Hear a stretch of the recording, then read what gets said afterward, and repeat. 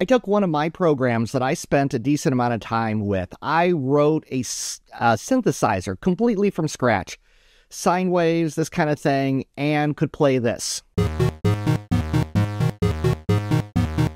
And even the video that you're seeing from that is actually Adobe Audition. So my program just output the sound.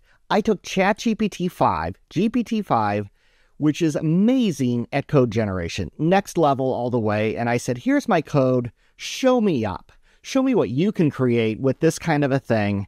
And I didn't even give it all the simul- uh, the synthesizer code to do the filters, the LFOs, all that kind of fun stuff that synthesizers do and I told it to show me up, and here's what it did.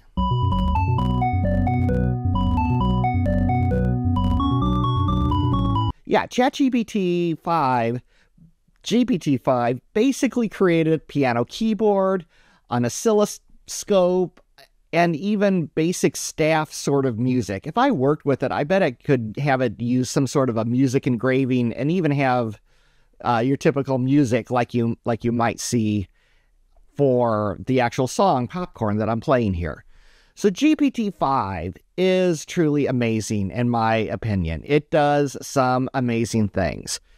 If you look at just the interface that they give you now, you don't have a million different models. I've got a couple here because I've got the Pro edition of, of ChatGPT, but the advantage here is you don't have to be dealing with all these other models like you had before, which one is good at what. You just ask it the question. It'll get back to you quickly if you asked it something simple or if it needs to reason. And I was using pro reasoning here to create my synthesizer. And all I did was I just kind of stroked its ego and said, hey, show me up. Show me what you can do, ChatGPT.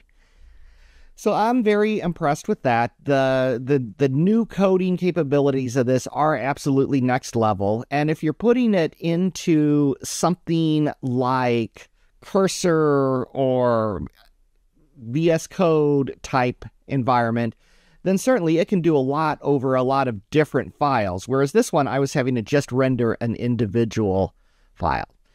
So I just wanted to give you some of my first impressions of GPT-5, it just came out yesterday. What do you think? Have you been doing code generation with it? I think it's really, really powerful here. They claim that it can do PhD sort of level research on other things. I have not really tried it on having a research and prove out something for me yet, but on code generation, I'm really impressed.